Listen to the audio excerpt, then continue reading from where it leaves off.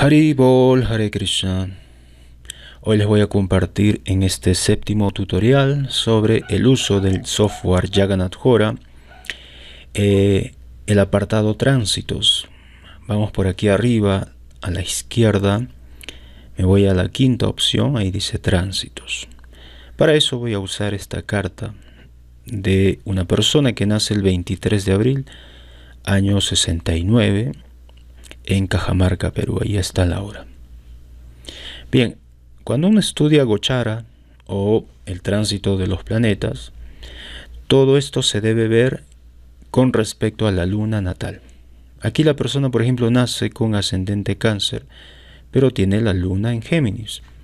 Si yo quiero saber cómo, por ejemplo, Saturno y Júpiter van a afectar a esta persona, yo recuerdo que estos planetas están aquí al frente, en su casa 7 con respecto al ascendente, pero no, lo que yo debo ver es que Saturno y Júpiter están en su casa 8 con respecto a la luna de la persona. Y eso es lo más importante. Recuerden, la luna viene a representar la mente. Cómo los planetas afectan la mente es más importante que saber cómo esos planetas afectan al ascendente, o sea, al cuerpo. No, lo que hay que recordar es la mente. La mente siempre tiene prioridad. Porque resulta que en un día cuando, por ejemplo, tú estás triste, deprimido o muy alegre, muy entusiasta, dices que sí o dices que no. Ese sí o ese no van a hacer que tu vida cambie. Un día cuando estás muy, muy alegre, sin pensarlo mucho aceptas, aceptas algo y ya pues ah, puedes cambiar tu vida, arruinarla o mejorarla. Entonces los estados mentales nos llevan a tomar decisiones erróneas muchas veces. Hay veces acertadas. Por lo tanto hay que comprender cómo los planetas van afectando a nuestra mente. Por esa razón es que se le da más importancia a cómo los gocharas influyen o afectan directamente o indirectamente a la luna natal. Habiendo recordado esto, vamos a proceder. Ok, escogemos entonces el tema de tránsitos aquí, pulso, y se me abre esta ventana. Por defecto, Vamos abajo. Aquí tengo cuatro opciones. La primera que se muestra es el resultado de los tránsitos, resultados básicos de los tránsitos. La segunda opción, calendario de tránsitos. Tercera, eh, tercera opción, búsqueda especial, ¿no? special search. Y la cuarta opción, correlación de longitud. Solo voy a hablar brevemente de esto, ya que eh, tiene que ver más que nada con investigación y eh, corrección de hora de nacimiento. A ver, fíjense eh, en la primera opción, me muestra cuatro ventanas. Arriba es para yo jugar con los datos. Puedo introducir un margen de fechas y horas para que me muestre cuál es la posición de los planetas de acuerdo al rango de fecha y hora que yo quiero saber. En la ventana del medio acá me muestra una lectura sobre la cualidad de los planetas, considerando la posición que ocupan. Por ejemplo, aquí en la primera fila habla sobre los planetas, los nombra. En la segunda fila, las taras o las nakshatras. De acuerdo al número de la nakshatra con respecto a la luna natal, cada una de estas recibe un nombre. Por ejemplo, la persona nace con luna en Géminis eh, y nace con el sol aquí en la casa 11. Yo puedo ver aquí house, ¿no? Casa 11. Y eh, la constelación donde está ese sol la puedo ubicar aquí abajo. Acá dice el sol está en Ashwini, en el cuarto pada. La persona nace con la luna en Punarvasu. Entonces, si yo cuento desde Punarvasu hasta Shwini hay una cantidad de nakshatras. Y justamente el sol cae en la nakshatra que para ese número se le llama Kshema o el bienestar. Marte, por ejemplo, vamos por algo que está más cerca. Júpiter está más cerca a la Luna. Si yo me fijo acá, tiene la Luna en, eh, perdón, a Júpiter en Virgo, en Uttara Falguni. Nakshatra del Sol. Y con respecto a su luna natal, ese Júpiter está eh, en una nakshatra que por su número, ¿no? por el número de nakshatras que hay hasta ahí, se llama sadhana, logros. Así que eh, este cuadro de acá me muestra eso. Por ejemplo, la persona nace con Venus en Vipap, una nakshatra que contando desde la luna natal cumple la función o está en el papel de Vipap, que da peligro. Nace con la posición de Venus en Pisces. Ahí está. Bueno, el tema de los murtis, hay que aprender también el significado de cada uno de ellos. Básicamente hay cuatro. Es suarna, dorado, rayata, eh, silver, que es plata, tambra, cobre y loja, iron o hierro. ¿No? Lo que nos recuerda a la clasificación de las eras o los yugas la era Golden o Satya Yuga. Treta Yuga sería esta, Rayata. En Dwapara Yuga, cobre y Kali Yuga, hierro. Así que, de acuerdo a la posición de los planetas y otros eh, detalles más, casa, signo, etc., cada planeta va a tener una cualidad especial con respecto a la luna natal. Aquí está. Si yo quiero cambiar esto, hago clic derecho y puedo cambiarlo. Puedo cambiar esta, esta lectura para la carta Rashi, la Navamsha u otra carta divisional. Lo dejo aquí en la Rashi, le doy OK y puedo cambiar la referencia. Me muestra tres, la luna, el ascendente y el Arudalagnya. Lo vamos a dejar aquí en la luna. Bien, aquí abajo, eh, si yo no pido que me muestre los tránsitos de hoy, simplemente me muestra los datos del nacimiento, igual acá.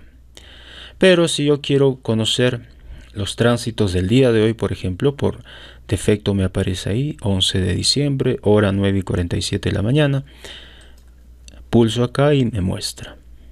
Júpiter y Saturno están acá en Capricornio, eh, con referencia a la luna de la persona estaría en la casa 8, Marte en la casa 10, luna en la casa 5 y eso lo voy a ver acá. Por ejemplo, veo luna está en casa 5. Marte, Marte estaría en casa 10. Aquí, por ejemplo, a Rahu estaría en la casa 12 y está causando un veda o un bloqueo al sol, ahí dice causando bloqueo al Sol. Y el Sol, por ejemplo, recibe un bloqueo de Rahu. El Sol está aquí en Escorpio y sería la casa 6. ¿no? Aquí está casa 6 con respecto a la luna de la persona. Ahora, ¿qué es bloqueo o veda? Bueno, eso lo tienes que aprender. Yo solamente estoy mostrando algo rápido. Hay mucho que aprender sobre gocharas o tránsitos. Y bueno, al menos eh, estoy compartiendo para que tengas una idea de cómo se usan las cuestiones súper básicas. Ahora si te fijas te muestra aquí abajo dos eh, cuadros. Uno a la derecha los datos del nacimiento de la persona y acá a la izquierda los datos del tránsito de hoy. Los parámetros aquí arriba yo los puedo cambiar, por ejemplo, quiero saber el 21 de diciembre, el gran tránsito Júpiter-Saturno, ahí está. Va a ser más o menos a las 6 y 25 aproximadamente, cuando van a estar más cerca. Ahí está, diciembre 21, 6 y 25 ah, de la tarde, pero aquí le voy a poner mejor 18 horas, ahí está. 18 horas 25, listo. Entonces me va a mostrar Ahí está, ¿no? Saturno Júpiter, me voy aquí al cuadro a la derecha. Júpiter 624, Saturno 623. Ahí están los dos. Bastante, bastante cerca. ¿Y em, cuál va a ser la cualidad de los planetas ese día? La luna, por ejemplo, va a estar transitando por casa 10 con respecto a la luna natal. Y va a estar en Sampat, que es riqueza. ¿Mm? Ahí estamos. Bueno, una vez habiendo visto esto, vamos al calendario de tránsitos. Se abre esta presentación. Ok, nuevamente eh, yo puedo hacer clic aquí para que me muestre el calendario y me va a mostrar toda esta información que eh, para muchos va a ser bastante confusa, está bastante saturado. Entonces lo que yo debo hacer es aquí seleccionar. Selecciono lo que quiero que me muestre. Vamos por algo bastante sencillo. Voy a deseleccionar esto y solamente voy a dejar esto, los murtis, ¿no? de, las, de los cuatro metales, oro, plata, cobre y hierro. Solamente eso. Puedes escoger los días. Acá me sale por defecto 15. Yo solamente quiero escoger 10 a partir de, eh, bueno, está 21, la fecha de hoy es 11, así que a partir del día de hoy 11 por 10 días adelante, sería hasta el 21 de diciembre. Em, la hora lo voy a poner desde, la, desde las 10 de la mañana del, desde el día de hoy hasta las 10 de la mañana del día 21 sería, ¿no? más 10 días, 10 de la mañana. Ahí estoy escogiendo el rango de horas. Ok, ¿qué se va a usar? La Rashi, ¿no? Solamente quiero saber en la Rashi. Yo puedo escoger que me muestre en la Navamsha o en alguna otra carta adicional. Solamente eso. Ya, la Rashi, la natal de la Rashi, eh, la carta natal. Y la Rashi en los tránsitos. También, nada más. Entonces, pulso acá y me aparece esta ventana independiente. Aquí está el tema de los murtis. Y personalmente me parece mucho más práctico y efectivo hacer este análisis o leer e interpretar estos datos. Por ejemplo, si yo veo la persona, eh, recuerdo acá, esta es la carta de tránsito, pero yo recuerdo que la luna, la, ah, la persona la tiene aquí en Géminis. Entonces, con relación a su luna natal, el sol el Sol va a estar en Escorpio. Aquí están las fechas. Día 11 de diciembre del 2020 hasta el 20 de diciembre del 2020. Entonces el Sol, a partir em, del 16, ya va a tener otra categoría. Aquí está primero amarillo, luego está rojo. Marte va a estar amarillo, amarillo. Y para saber interpretar el color, le doy clic derecho en esta zona. Y me muestra la leyenda, que es una explicación de los símbolos. Me voy a fijar solamente en estos símbolos. Dice acá amarillo, fíjense, amarillo significa un Swarnamurti en tránsito, ¿no? Un planeta que tiene cualidad de oro, lo cual es muy bueno. Si es blanco, un Rayatamurti, un planeta que tiene la cualidad de ser como un ídolo, una deidad, un murti de plata. Este rojo es Tamramurti. Eso significa cobre y se considera que es malo. Y este oscuro gris es un Lohanamurti en tránsito, un planeta con esta cualidad, lo cual es muy malo. Entonces, categorías son muy bueno, bueno, malo, muy malo, ¿no? De un extremo a otro. Recuerden, amarillo es dorado, blanco es plata, rojo es cobre y gris es hierro. Esa es la eh, interpretación de esta leyenda. Entonces, nuevamente clic derecho y ahí está. Por ejemplo, aquí me dice que hasta el día 15 de este mes el Sol va a estar en esta categoría de Suarna. El tránsito del Sol va a tener la cualidad de Suarna, auspicioso, muy bueno. ¿Ok? Todo con referencia a la luna natal. Luego de ahí para adelante hasta el 20, hasta la fecha que elegí, el Sol va, va a tener la categoría de cobre, Tambra. Marte, Marte va a estar por estos 10 días en categoría Suarna, dorado. Lo mismo para el caso de Raju, ¿no? en casa 12 ahí. Ketu sí va a estar en una categoría pésima que va a ser la de Lohan, ¿no? hierro. Saturno va a estar en categoría de cobre y está, está malo ahí. Las dos categorías buenas son dorado y plateado, ¿no? Plata, Venus. Venus, por ejemplo, en su tránsito por eh, Escorpio va a estar en esta categoría favorable. Y así. Yo puedo aquí escoger otras lecturas, por ejemplo, esto de acá, ¿no? Casas desde la luna natal y los bloqueos. Casas desde el ascendente natal y bloqueos. Solamente desde la luna natal. Aparte de los murtis o simplemente ya no escojo los murtis y solamente quiero ver esto, ¿no? Las casas desde la luna natal. Y ahí está. Y aquí, bueno, tengo que saber interpretar esto, saber la leyenda. Los puntos rojos significan vedas o bloqueos. Aquí lo que está atrás, este círculo que está atrás es la luna, desde la luna natal, ¿no? Y los colores de esto también tienen un significado. Si yo quiero aprender todo eso, clic derecho y ahí está. Ahí me muestra, ¿no? En verde son buenos tránsitos, en rojo no son buenos tránsitos. ¿no? Y cuando está el símbolo este, significa desde la luna natal. Cuando no hay el símbolo, no estamos leyendo el tránsito desde la luna, sino desde el ascendente. El punto rojo quiere decir bloqueos, ¿no? Veda. Eso es lo que yo debo ir estudiando para saber usar esta herramienta del software. Debo estudiar tránsitos, gocharas, qué son los bloqueos, qué eh, que significan las taras, las estrellas, los murtis y muchas cosas más.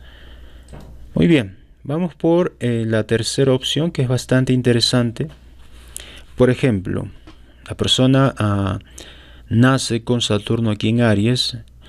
Si yo quiero ver nuevamente esa información, me voy aquí, back to natal chart, y ahí está Saturno. Quiero ver la posición, me voy acá, a este cuadro de la derecha. Fijo eh, Saturno en Aries, ¿no? Ahí está.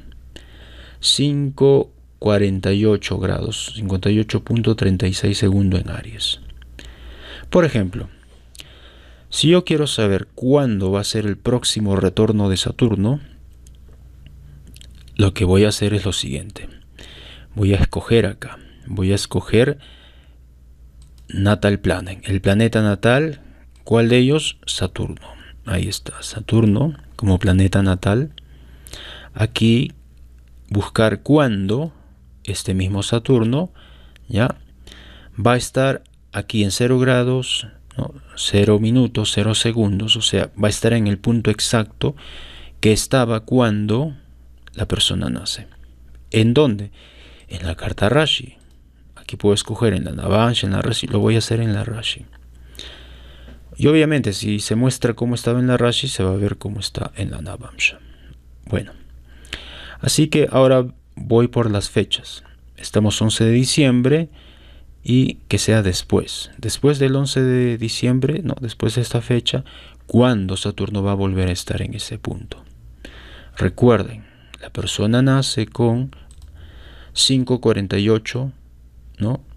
En Aries. Entonces, pulso acá. Y aquí me muestra. Fíjense la fecha. El, 20, perdón, el 13 de abril del 2028, Saturno va a estar nuevamente 5 grados 48. Aquí. No, este es el método de eh, búsqueda especial, Special Search. Por lo tanto, Saturno va a volver a transitar por ahí o se va a producir la segunda revolución el 13 de abril del 2028. Para aquel entonces, o sea, ya entrando a sus 60 años, se cumple la segunda revolución de Saturno. Si yo quiero hallar la revolución de Júpiter o de Rahu, ¿no? del eje Rahu-Ketu también. A ver, palabras breves. ¿Para qué me sirve ver el segundo retorno o el primer retorno de Saturno, para comprender qué lecciones voy a aprender por los próximos 30 años. ¿Qué lecciones voy a aprender? Eso es lo que me da Saturno. cada revolución de Saturno me da, esa enseñanza. ¿En qué casa y en qué área de la vida voy a aprender lecciones importantes, lecciones de vida? Saturno siempre va a estar en Aries, ¿no? Así que cada vez que este retorno se produce, hay que ver en qué casa cae. La persona nace con ascendente cáncer. Para su segunda revolución de Saturno va a estar en el ascendente. O el ascendente, mejor dicho, se va a situar ahí, con Saturno. Así que las lecciones de vida para esta persona a partir de los 59 años para adelante, al menos por los siguientes 30 años, son lecciones que tienen que ver con el cuerpo y seguramente con el cuidado de la salud. Ahí es donde la persona va a experimentar las, eh, el karma, las enseñanzas, los efectos de ese Saturno. Ustedes también lo pueden hacer. Si ya tienen más de 30, fíjense. ¿No? Fíjense cómo estaba el ascendente Saturno, en qué casa se ubicaba el día en que Saturno dio una, una revolución. Ahora lo puedes usar para otros planetas, ¿no? Escojo por ejemplo Júpiter, que es otro importante. Aquí también voy a, voy a elegir Júpiter. ¿Ya? Y para después de esta fecha. Lo puedo hacer antes, ¿no? hay ningún problema. Pero eh, como es una cuestión para hacer predicciones, lo puedo hacer para el futuro. ¿no? Aquí escojo before, antes de esta fecha, o after. Lo voy a hacer after, después de esta fecha. Okay. Vamos por Júpiter, ahí está Júpiter. La persona nace, ya hay que ver dónde está, vamos a la carta natal de nuevo. La persona nace con Júpiter en Virgo, en casa 3, desde el ascendente y desde la luna en casa 4. Ahora bien, ¿dónde está Júpiter? Está a 3 grados 59 en Virgo. Ahí está. Así que selecciono Júpiter acá, Júpiter y eh, vamos a ver.